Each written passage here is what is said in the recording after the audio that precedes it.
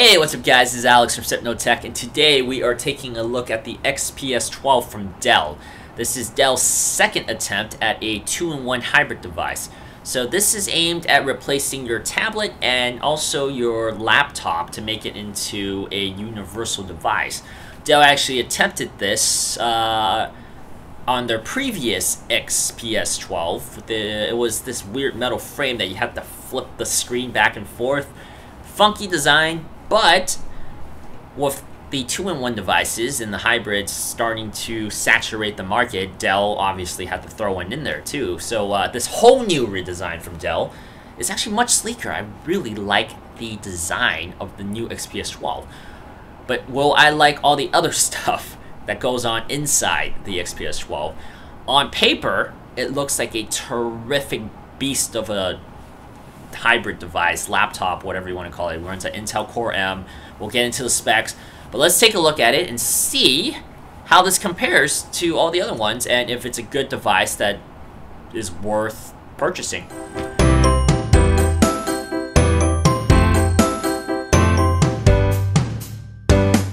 On the left side of the device, we will see the volume rockers at the very top, followed by a full-size SD card slot with a flap on it for expandable storage, followed by the main selling point of this device for me, which is two, count them two, full USB-C type Thunderbolt 3 ports. So that's always great to have because USB-C is kind of future-proofing this device. And right under that, we have a headphone jack. The volume rockers are a bit indented into the panel and they're hard to find when you're looking for them they're kind of mushy and soft, so there's no tactile feel when you press on them. There's no response. Um, sometimes you don't even know they're there.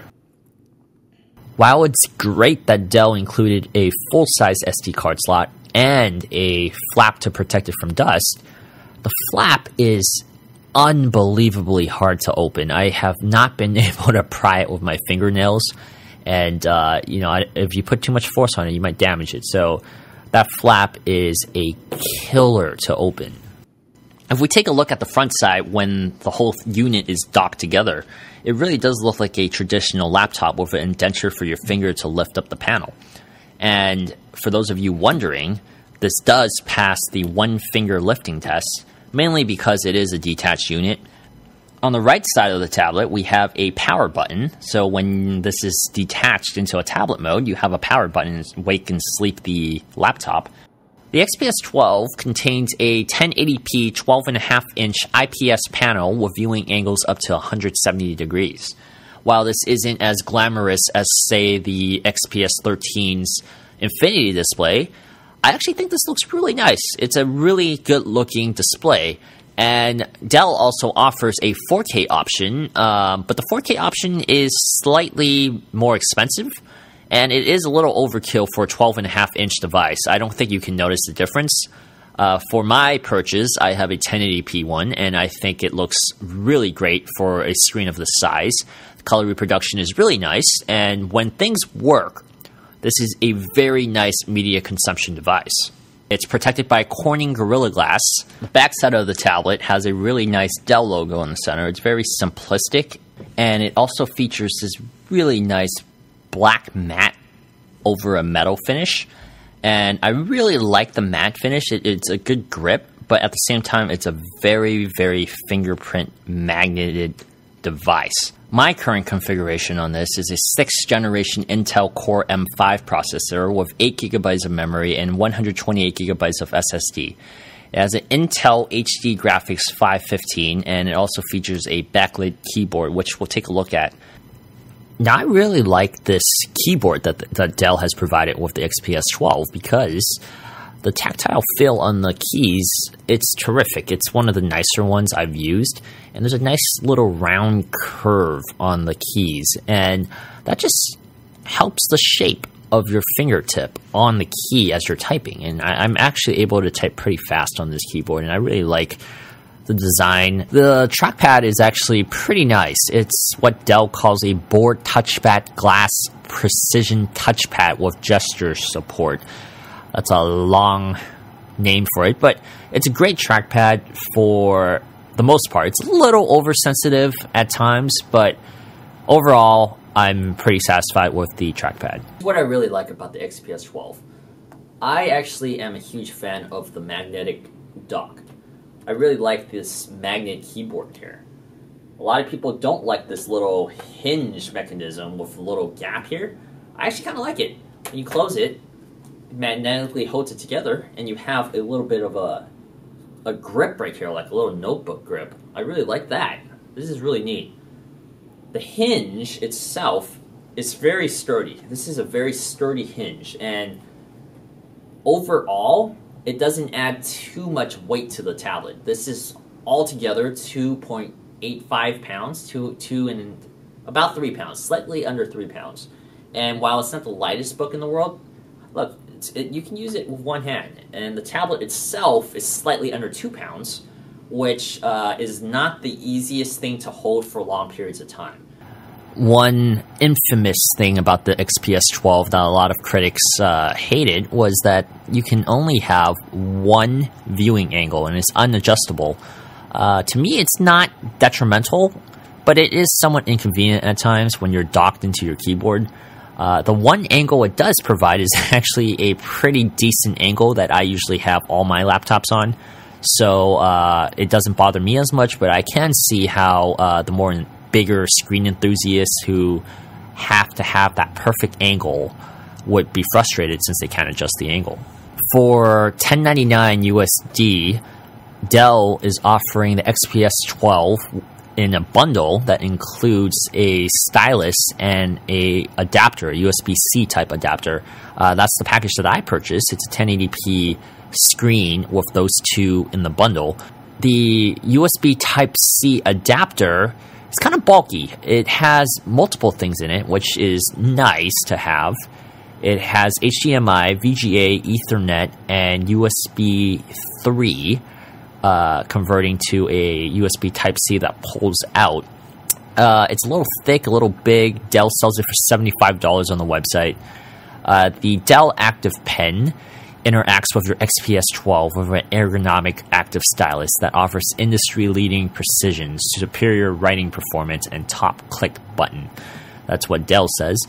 Uh, I like it. I like the pen a lot. Uh, the pressure sensing is terrific. Um, if you draw, if you if you're an artist, you can definitely use this pen, and you can feel um, a difference compared to the cheaper ones you can purchase on Amazon. This one's made. I don't know if it's made specifically for Dell products, but it works really well with the XPS 12. This is actually one of the only things that I think Dell did really well in conjunction with one another. The uh, Dell Active Pen works really well with the Dell XPS 12 touchscreen. Guys, I have to say, nothing works on this. Nothing, absolutely nothing works on this PC. It's ridiculous how nothing works on this PC. After downloading Steam and playing Skyrim for a little bit, I was kind of impressed that the Core M actually worked better than I expected when it came to running games on Steam. Skyrim, on low settings, ran actually really smoothly at around 30 frames per second, which is way more playable than I thought it would be. But after playing it once, I never got Steam to open again. I, I still, to this day, cannot open Steam back up, which is absolutely ridiculous. And, and to make matters worse, I can't even use any web browsers. Google Chrome would crash. It would crash after a couple minutes or within 30 seconds, but it never lasted longer than a few minutes. And then I read online that you should use Chrome Canary. So I downloaded Canary and I tried it, and it didn't do anything else. It also crashed every couple minutes. So I was like, you know what? Let's just use Microsoft's default browser, which is Edge. At first, Edge was working relatively well, and then it stopped responding as well. The whole computer is useless if it can't do any basic tasks like web browsing, which even a basic Chromebook can do better than this computer. It's not fun not being able to do anything on this. Look, it froze up. This is on Microsoft Edge. And it's a tablet. It's in tablet form too. So ideally, people like to read on their tablets it's not working right now, guys. I, I don't know what to say. Like, none of the web browsers work on this. It's ridiculous. Like, you can't even go online on your computer or tablet. So what's the what what's the purpose of this? I don't understand. So Windows not necessarily better than Chrome OS to be honest for certain things. Another very very very frustrating thing for me on this device. There's a lot of them, but this is the most frustrating. One of the most frustrating at least. This computer keeps switching back to my tablet mode. And I've actually disabled all the tablet mode stuff and I've switched it multiple times in the settings to make it less touch friendly, right? So I can get the icons on the bottom, make it like a desktop Windows experience. And this device does not hold a battery charge at all. I would close it and it goes to sleep. And then the next hour or so, it would go down to zero, or next couple hours, it would go drop all the way down to zero while it's off. You know, I can even power off the device and it still doesn't hold a charge. It's absolutely ridiculous. If a modern day cell phone can last maybe two, three days if it's just on standby, right?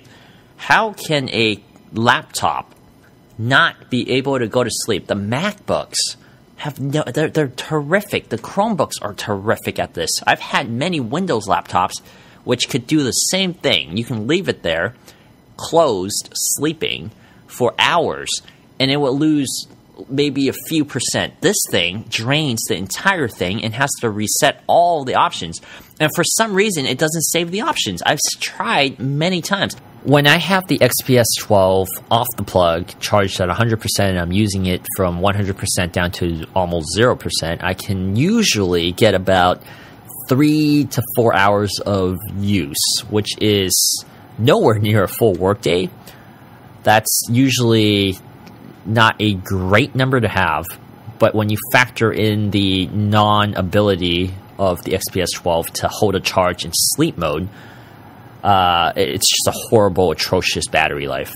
Unfortunately, I cannot recommend the XPS 12. This is just something that was not ready for the market. It really wasn't. It felt like one of those CES devices that uh, uh, Dell announces their products at. And they say this is just a pre-production unit. We have a lot of kinks to work out, but none of the stuff, none of the errors and all the crashes will be there when the final product is released. But this is the final product, and it is available for purchase to the mass consumers.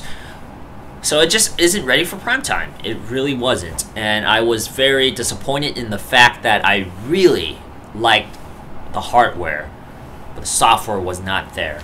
And I've had a lot of experience with Windows 10 on multiple platforms um, desktops, laptops, ultrabooks. And I know for a fact that Windows 10 is a pretty pretty nice OS. It actually is a very good platform to use, and it and when it's running right, it runs really well. Unfortunately, the XPS 12 doesn't run well with Windows 10, and I, I think there's some software optimization problems there. I will leave the possibility open that I have a lemon, that they sent me a lemon, but reading uh, on Amazon some of the reviews and some other people who uh, have it on forums, they also have a lot of the issues that I do. So I don't think it's a coincidence.